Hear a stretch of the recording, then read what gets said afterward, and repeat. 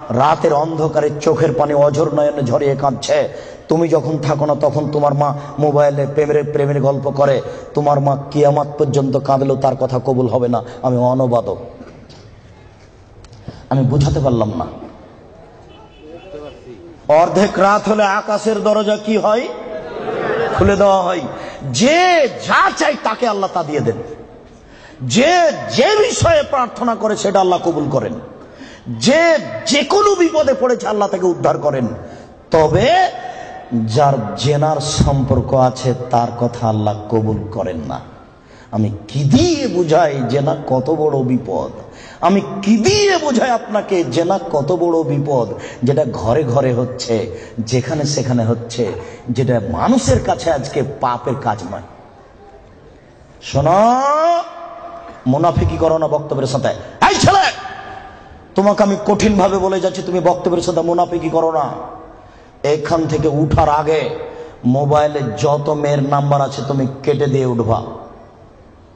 জিন্দগিতে কোনোদিন কোনো মেয়ের সাথে গল্প করো না। তোমার সাথে এ অংশে আমার জরুরি কথা আছে, তুমি একটু ধৈর্য ধারণ করো। একটু, সামান্য একটু থামো। তোমার সাথে আমার আরও জরুরি কয়েকটি কথা আছে। মোহাম্মদ সাল্লাহ আলি সাল্লাম বলেন, আমি রাতে ঘুমিয়েছিলাম জিব্রাইল আমার ডান হাত ধরলেন, মেকাইল আমার বাম হাত ধরলেন, ধরে আমাকে নিয়ে চলে যাচ্ছেন। যেতে যেতে দেখি অনেক মানুষ আসাধ্য সাইনতে খাপান ফুলে ফেফে বিশাল বিশাল আকৃতি ধারণ করে আছে। পঞ্চাশ হাত, একশো হাত উঁচু উঁচু হয়ে আছে। অন্তানাহ রিহান, দুর্গন্ধের টিকা যায় না, এত গন্ধ। কান্নমল মারাহিজ। মনে হচ্ছে যেন তারা গ্রামের টয়লেট। মনে হচ্ছে যেন তারা গণশৌচাগার। মনে হচ্ছে যেন তারা গ্রামের টয়লেট। মনে হচ্ছে যেন তারা গ্রামের শৌচাগার। যেই শৌচাগার টয়লেট পরিষ্কার করা হয় না, গণশৌচাগার গন্ধে টিকা যায় না। বিশাল বিশাল রূপ ধারণ করে আছে। আমি বললাম, জিব্রাইল মানা হলাই কি? এরা কে? জিব্রাইল, এরা কারা? ছি ছি ছি ছি, এরা কারা? এতক্ষণে গন্ধ, এতক্ষণে ফুলে আছে। তখন জিব্রাইল বললেন, অহমদ জোনাতা সাওয়ানি, এরা হলো ব্যভিচার ব্যভিচার নেই বলো যুবক, মোটা মোটা হ্যাঁ ফুলে আছে, খুব গন্ধ, এরা কারা? ব্যভিচার ব্যভিচার নেই তুমি সাবধান থাকো, তুমি একটু অপেক্ষা করো। শুনুন, আল্লাহ নবী বলছেন যে আমার ডান হাত জিব্রাইল ধরলেন, বাম হাত মেকাইল ধরলেন, ধরে নিয়ে চলে যাচ্ছেন। যেতে যেতে দেখি একটা গর্ত চুলার মতো। কোন চুলা? যাতে তন্দুরি রুটি হয়। তন্দুরি রুটি চুলা দেখেছেন? ভিতরে রুটি দিয়ে সিদ্ধ হলে বের করে নেওয়া হয়। এরকম চুলা। তথা অক্কাত তাহা তাহ নার। তার ভিতরে দেখি ধাঁধা ধাঁধা ধাঁধা করে আগুন জ্বলছে।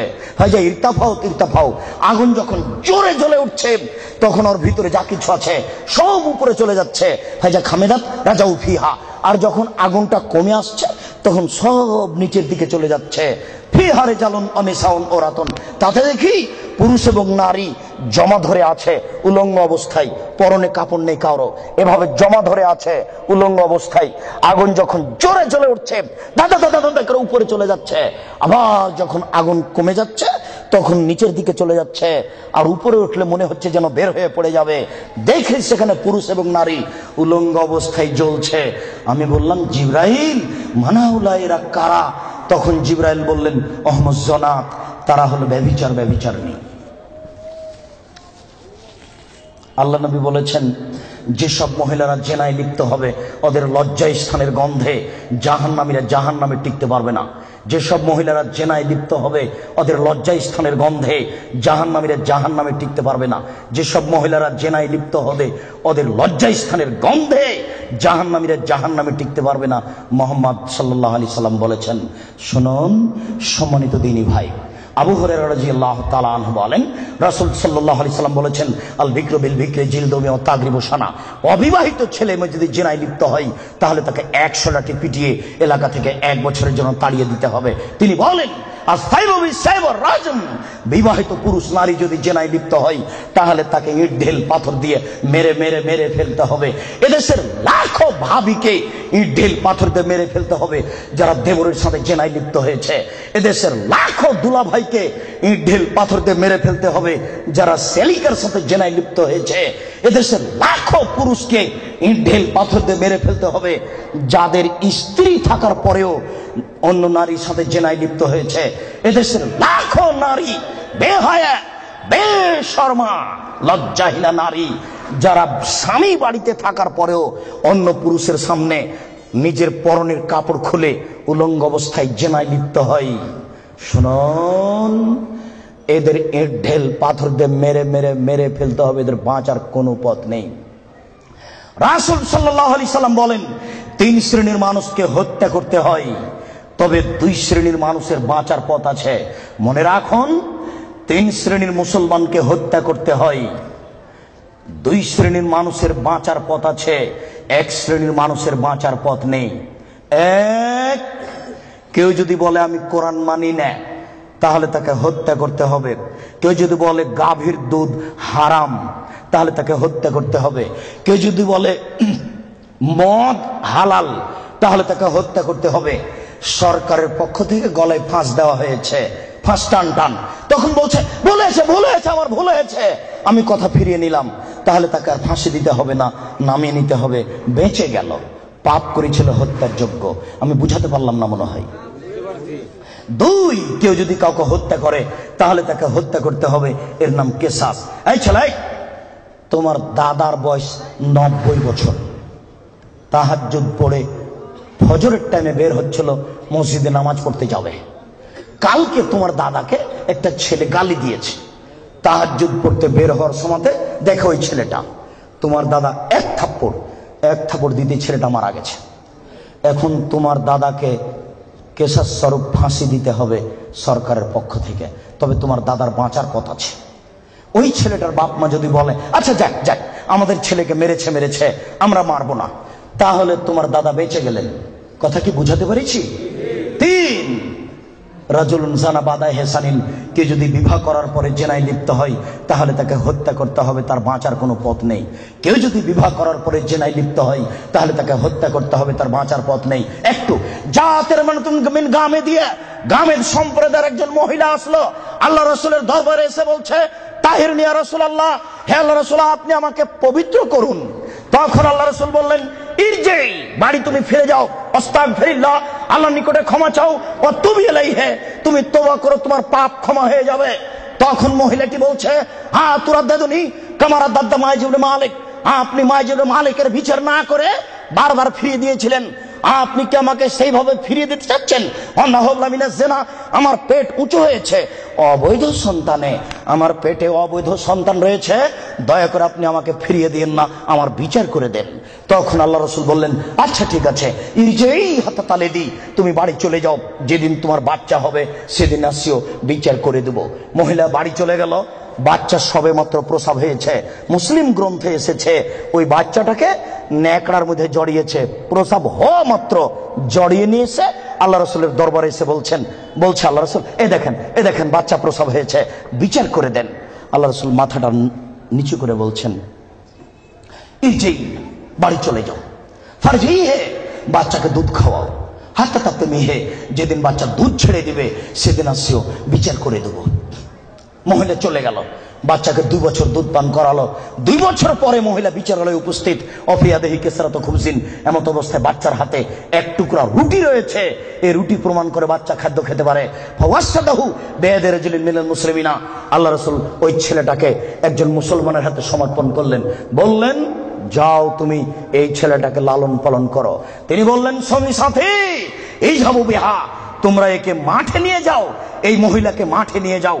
অফিরুল্লাহ সাথে মাঠে নিয়ে গিয়ে গর্ত খুঁড়ে বুক পর্যন্ত পুঁতে দাও। ফার জেমুহা এরপরে তোমাকে ইট তাকে ইট ঢেল পাথর দিয়ে মেরে মেরে মেরে ফেলো। সাহাবিগুন বলেন, আমরা তাকে মাঠে নিয়ে গেলাম। মাঠে নিয়ে গিয়ে গর্ত খুলে বুক পর্যন্ত মাটিতে পুঁতে দিলাম। এরপরে চতুর্দিক থেকে ইট ঢেল পাথর মারতে লাগলাম। খালিদ বিন ওয়ালিদ বলেন, একটা পাথর আমি নিয়ে তার মুখের উপরে মারলাম। ফাতারা জাহাতাম আল্লাহ খালিদ, পাথরটা মুখে লেগে, মুখ ফেটে, রক্ত ছিটে খালিদের গায়ে লাগল। ফাসাব্বাহ!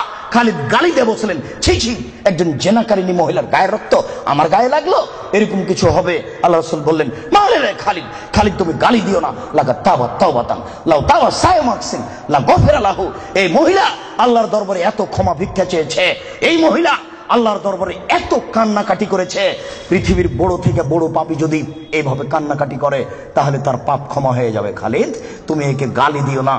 দুঃখিত, আপনাকে আমি কি দিয়ে বুঝাই? পৃথিবীর সবচেয়ে বড় পাওয়ারফুল মানুষ হচ্ছেন মোহাম্মদ সাল্লাহ সাল্লাম।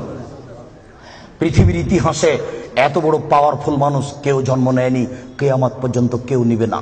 জান্নাতের গেটে বড় অক্ষরে লেখা আছে, সর্বপ্রথমে যিনি জান্নাতে প্রবেশ করবেন, তিনি হলেন মোহাম্মদ সাল্লাহ সাল্লাম। জান্নাতের ভিতরে একটা ঘর আছে, সেই ঘরের ভিতর দিকে একজন ফেরেস্তাকে দাঁড় করে রাখা হয়েছে। এখনও উপস্থিত। তাকে বলা হয়েছে, কেউ যদি বাহির থেকে এসে ঠক ঠক করে শব্দ দেয়। কে?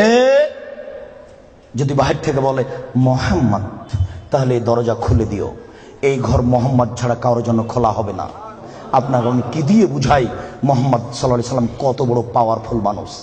বিচারের মাঠে ইব্রাহিম আলাই সাল্লাম বলবেন আমার প্রতিপালক আমার উপরে রাগ করেছেন, মা গাজেবা মিন কাল্লাবাদ আমার প্রতিপালক এইরকম রাগ পূর্বেও কোনোদিন করেননি, ভবিষ্যতেও কোনোদিন করবেন না। নাপসি নাপসি আমার যে কি হয় তা আমি নিজেই বুঝি না। এইভাবে চিল্লাচিল্লি করবেন ইব্রাহিম আলাই সালাম। আপনার হুজুরের কি হবে পীর সাহেবের? আপনাকে আমি কি দিয়ে বুঝাই? শুনুন ওই সময়তে মোহাম্মদ সাল্লাহ আলি সাল্লাম সিজদাই পড়বেন। তখন আল্লাহ বলবেন এই ফারাসাক সালতুতা সেতু সাফা মোহাম্মদ মাথা উঠান, বলেন, যা বলবেন তাই মেনে নিব। যেই কথা বলবেন আমি সে কথা গ্রহণ করব। আপনি মাথা উঠান না। আপনি বলেন না আমাকে কি বলছেন। আমি আল্লাহ, আপনি যা বলবেন তাই মেনে নিব। এত বড় পাওয়ারফুল মানুষ, একটু বলতে পারলেন না। যাও যাও। তোমার বিচার হবে না। তোমার পাপ ক্ষমা হয়ে গেছে। যাও, তোমার বিচার হবে না। এই কথা তিনি বলতে পারলেন না। এত বড় পাওয়ারফুল মানুষ। তিনি খালি বললেন, খালেদ, তুমি একে গালি দিও না। এ এত তোবা করেছে। এরকম তোবা যদি বড় থেকে বড় পাপি করে, তাহলে তার পাপকে ক্ষমা করা হবে খালিদ। তার মানে এর পাপ ক্ষমা হয়ে গেছে। তাই তো তিনি জানাজা করলেন। তাই তো তিনি কাফন দাফন করলেন। কিন্তু তিনি তাকে বলতে পারলেন না, যাও যাও, তোমার বিচার হবে না, তোমার পাপ ক্ষমা হয়ে গেছে। পৃথিবীর সবচেয়ে বড় পাওয়ারফুল মানুষ এ কথা বলতে পারলেন না। তার মানে বিবাহ করার পরে জেনায় লিপ্ত হলে তার দুনিয়াতে বেঁচে থাকার কোনো সুযোগ নেই। আমি আপনাকে কি দিয়ে বুঝাই শরীয়ত কি জিনিস? বিবাহ করার পরে জেনায় লিপ্ত হলে তার বেঁচে থাকার কোনো সুযোগ নেই। আব্দুর